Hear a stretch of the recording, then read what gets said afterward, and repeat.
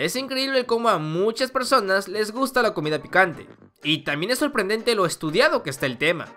Y sí, hay mucha investigación detrás de ese platillo de chiles rellenos.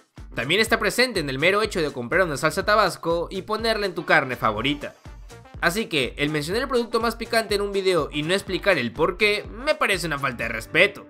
Así que hablemos del picante, o mejor, hablemos de la capsaicina. La capsaicina es un compuesto químico que se encuentra en diversas especies de plantas del género Capsicum y es la responsable de que el ají pique.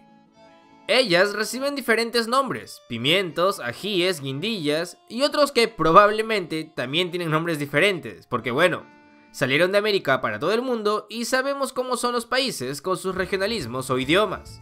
Te estoy viendo a ti, Francia. ¿Y cómo las plantas desarrollan el picante? Bueno, las que incluyen capsaicina en sus frutos no desean ser comidas por mamíferos, pero sí por aves. Esto se debe a que nuestros jugos gástricos hacen añicos a sus semillas, mientras que las aves pueden esparcirlas al cagarlas por donde vayan.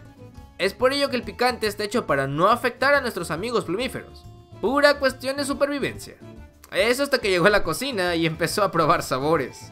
Pues bien, para saber cuánto pica cada pimiento, se desarrolló en 1912 un examen organoléptico por William Scoville. Una curiosidad es que esta escala de picor lleva su nombre.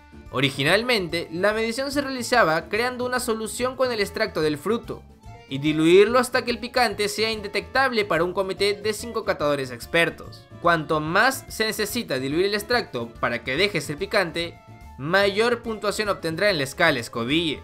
Por supuesto, hoy en día se utilizan métodos analíticos, como la cromatografía, que eliminan la subjetividad del ser humano. Pero hablemos de cifras. Según el libro Guinness de los récords, el pimiento más picante es el segador de Carolina ahumado, Carolina Reaper, que tiene un valor en la escala de 2.200.000. Y desde entonces algunos quieren quitarle ese título, aunque no han sido verificados por el libro, como lo puede ser el Pepper X, pero este no es el producto más picante, pues a este pimiento le sigue el gas en aerosol que usan los policías antidisturbios, que fácilmente puede llegar a los 5.300.000 en esta escala. Pero es momento de llegar a la cima, pues el producto más picante, como lo habrás adivinado, son los cristales de capsaicina pura. Esta llega a los 16 millones de unidades Scoville. Y podías comprarlo, pues por un tiempo estuvo a la venta la Blaze 16 millones que puede sonar una salsa, pero en realidad es un vidrial de grado farmacéutico, de un milímetro, lleno de cristales de capsaicina pura. Lo extraño fue el coleccionismo que tuvo.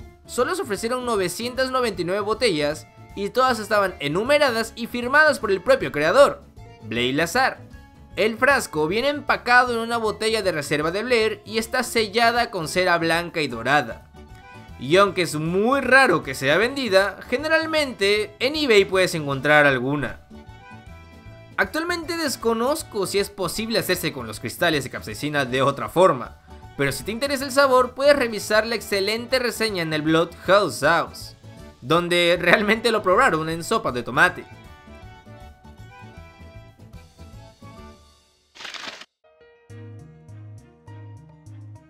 Muchas gracias por verme. Eh, síganme en las redes, denle like and subscribe y todo eso lo que normalmente piden. Y bueno, principalmente recordarles que debido a que me encuentro un poco mal, eh, no podría hacer las semanas que prometí. Los directos sí en FB empezamos el lunes o martes, depende de cómo vaya. Eh, un poco más tranquilo porque aún no puedo, eh, aún no me encuentro del todo bien, pero sí o sí iremos avanzando con este tema. Y de ahí eh, los videos sí tendré, tendré que darme muchísimo más tiempo y ya, eh, ya los avisaré. Nada más que decirles, muchas gracias por las palabras de apoyo en las redes, de verdad. Eh, me ayudan bastante que yo haya podido sentarme a, avanzar con el, con el video para no dejarles sin material. Y eso sería todo por mi parte. Mm, yo fui Alex y nos vemos en un siguiente video o directo. Muchas gracias por todo. y recuerden, cuidado con el picante, que tiene al menos esas salsas picantes que he mencionado son muy peligrosas.